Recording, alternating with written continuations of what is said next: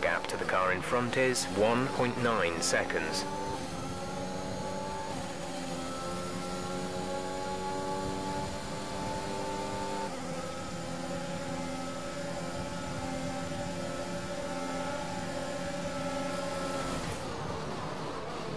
Whoa!